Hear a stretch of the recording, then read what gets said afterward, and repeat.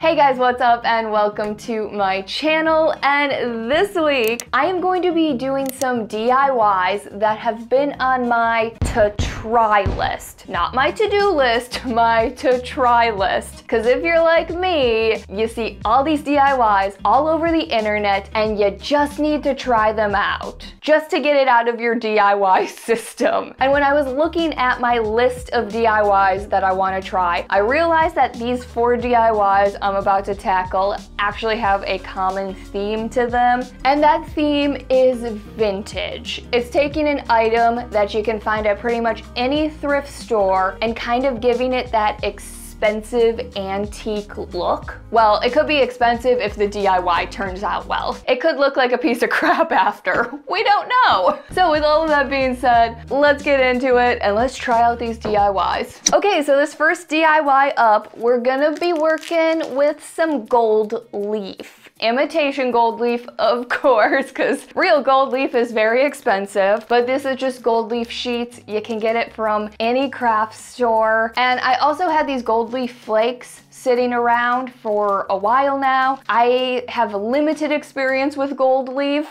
um, I've worked with it probably two or three times, so I do know what I'm doing, but I also don't really know what I'm doing. And what I'm gonna be doing is adding gold leaf to these two trays. This tray I got from the thrift store for $3. This one I think was $2. I think I've actually seen gold leaf leaf trays. And I think these actually can get pretty expensive. So I have Mod Podge here, got a paintbrush. I'm gonna start in small sections and then just kind of go from there.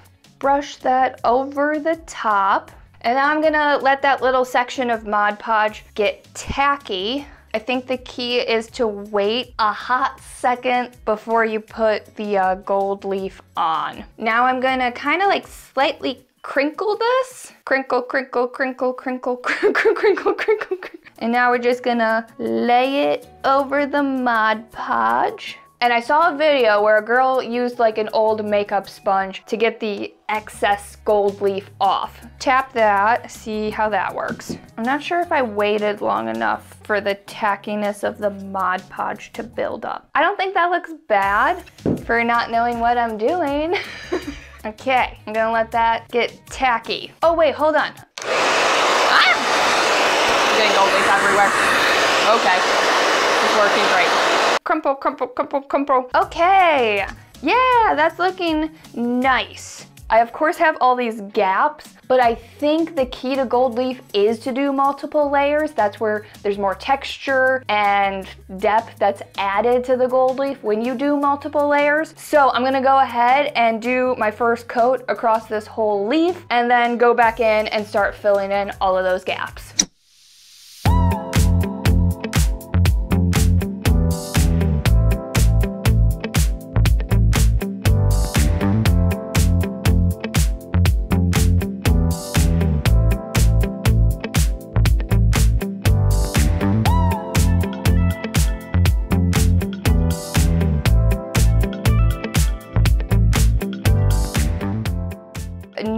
Nobody talks about how messy gold leaf is. Everybody like harps on glitter being super messy and getting everywhere. I'm pretty sure gold leaf is just as bad. It is everywhere and it is gonna be such a pain to clean up, but that is okay. This took a while and I didn't even fully cover up all of the cracks because I kind of actually liked the way this looked. It looks a little distressed to me and I think it looks kind of cool. And from doing this, I feel like I learned a lot. Tip number one, definitely work in small sections. Tip number two, keep the gold leaf sheet on the uh, little piece of paper that it comes on and crumple it. That works great. But what I'm gonna do is go ahead and do a top coat over this whole thing, let it sit, and then I'll move on to this little guy and do the same thing. And uh, then we can move on to the second DIY.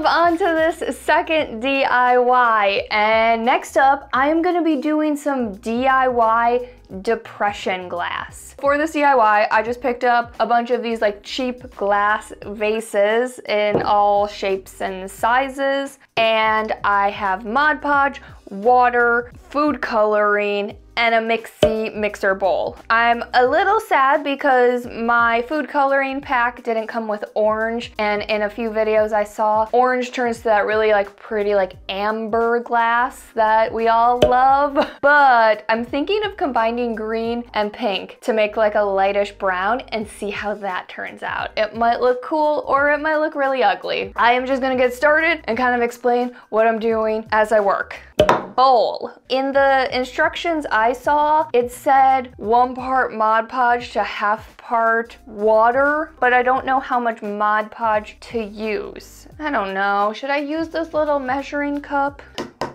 We've got Mod Podge. Now I'm just gonna do a little splashy splash of water. Um, and I'll start with green. That's really light, so I'm gonna add more. We're gonna add a little bit of this blue just to see what that does. I'm gonna do a little bit more green. That's a pretty color. Can you see it? I don't know if you can see it, but I wanna spill. Let's do this one. Dump that in there. Now I'm just gonna swirl this around keep swirling it until it covers everything. Now you just take whatever vase or glass piece you're using, you tip it upside down, and I covered a cookie sheet with tin foil, and you put it on your cookie sheet upside down. Okay, that was the first one all done, and I like the color a lot. So let's move on to the next one. I feel like I don't have to measure out the Mod Podge. I'm just gonna wing it. Tiny bit of water. Okay, I'm just gonna go for it. I know pink and green will turn to like a brownish color, so I'm hoping that turns to the desired amber that I love. Yeah, that's pretty-ish. I don't know. This kind of looks like coffee with a lot of cream in it. Mmm, it's making me want coffee. Dump it in.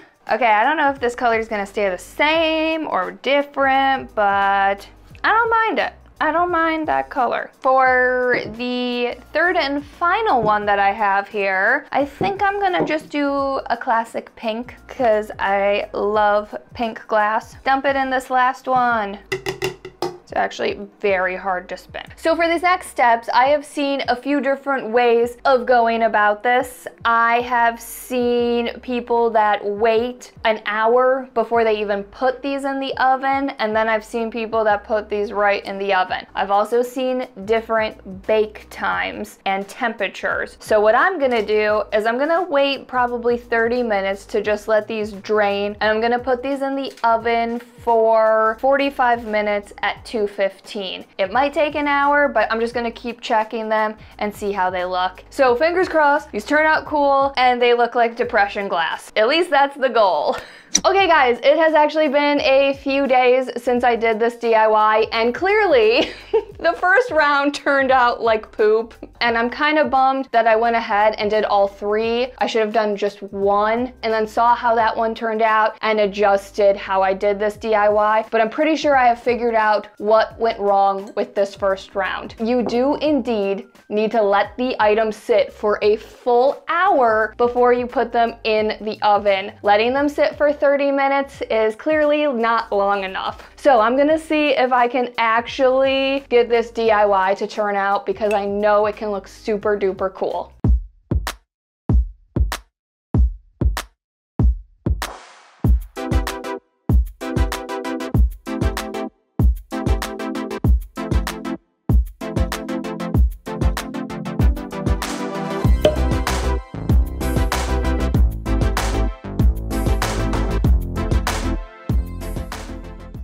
Guys, so for this third DIY, it is by far the easiest DIY of this whole video, but it's the DIY that I was the most excited to try. And for this project, I picked up these vases. If you wanna do this project, you need to find a vase or a bottle with a slender neck. It has to be slender enough that you can find a washer that can sit on top. And I'm gonna be using some E6000 to attach the washers to the top of each one of these bottles. And I'm gonna be turning these vases into a lantern. So I got some lamp oil, I got some extra wicks, and the wick will sit down in that washer and the washer will of course hold the wick up. So I'm gonna get started. This is gonna be very easy, very quick, but I'm hoping this looks really cool in the end.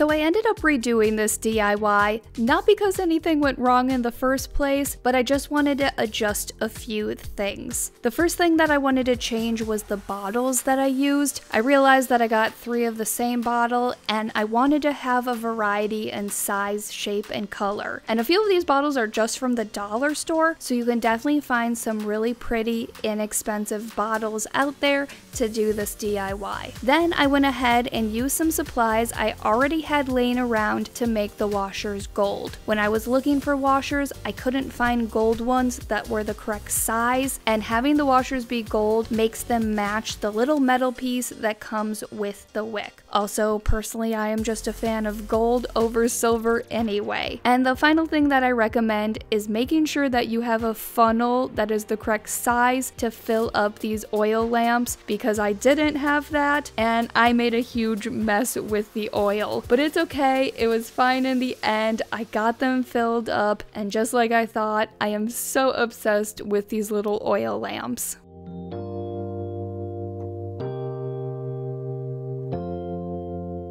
Good morning, guys.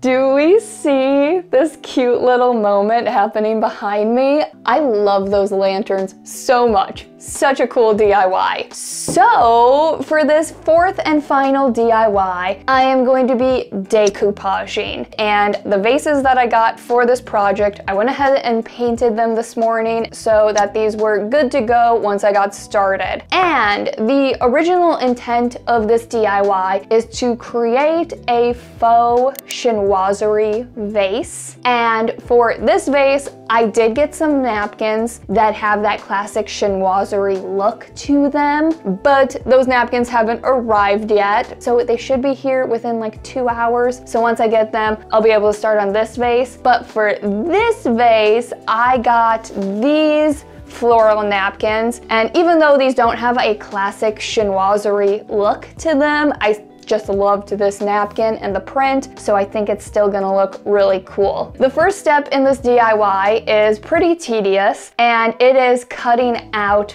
all of these flowers and getting as close to the flower as possible, leaving little excess of any of the other parts of the napkin. So I'm gonna get started cutting out all of these flowers and figuring out a pattern that I wanna do on this vase, and then we can go from there.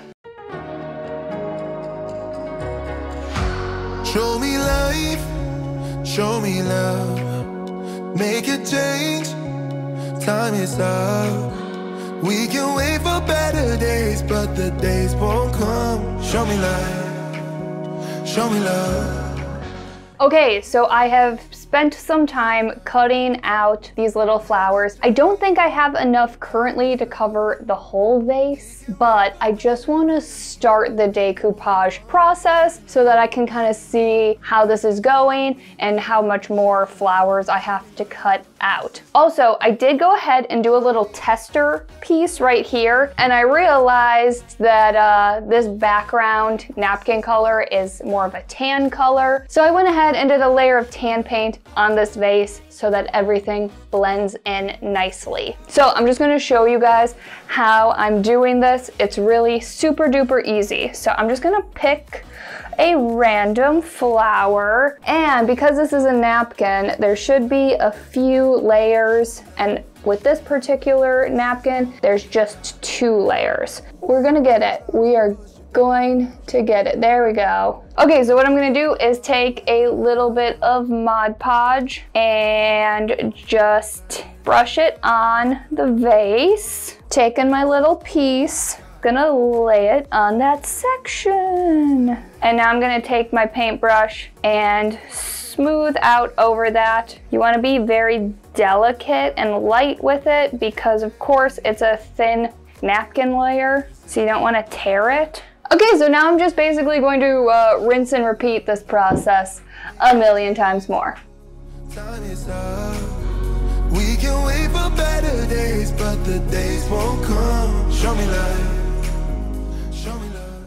Guys, I should have not done this DIY because I now have an obsession with decoupaging. I have spent several hours online looking at pretty napkins I can use to decorate vases. I feel like this has opened up a world of opportunity because the only decoupaging experience I have previous to this is a jar with some cut up tissue paper in elementary school. And although my mom really liked her Mother's Day present that year, I feel like decoupaging as an adult, you can really create some really cool artistic vases. And not to knock the whole plaster DIYs of using plaster to upcycle an old vase, but I just feel like I see a lot of that. And the decoupaging is just something new and it's just as cheap as the plaster DIY. And you can create some really cool, unique vases. And after finishing the first vase, I went right into working on the second vase. And I will say, I think the first vase definitely turned out cleaner and nicer than the second vase,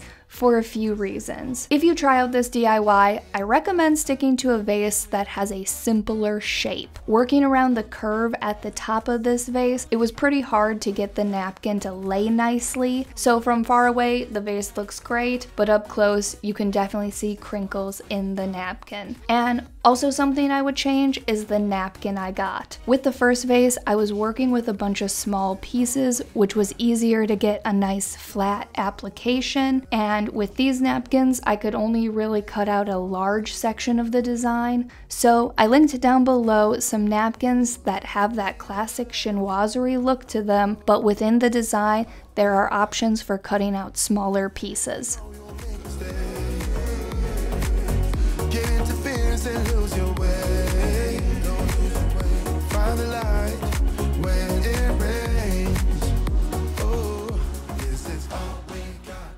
And that is it guys. I am so happy with how these DIYs turned out.